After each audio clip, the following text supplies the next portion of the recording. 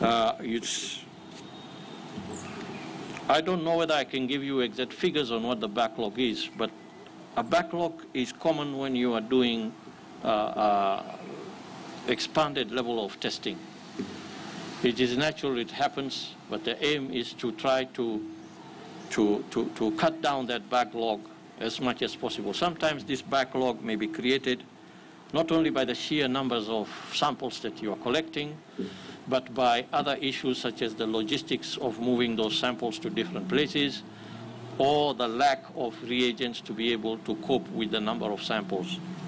Uh, I can assure you that we are addressing this backlog because the aim is not to keep people awaiting for results or holding them in quarantine or largely in quarantine or truck drivers uh, waiting along the borders because the test results have not come in.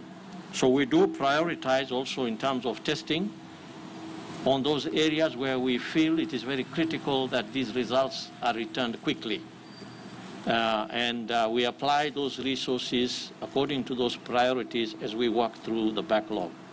So uh, in terms of backlog, yes, it happens, and we might experience various levels of backlog depending on where we are in terms of our supply chain.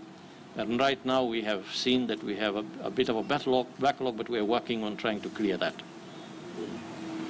Uh, samples, uh, reagent levels, I think I have addressed that.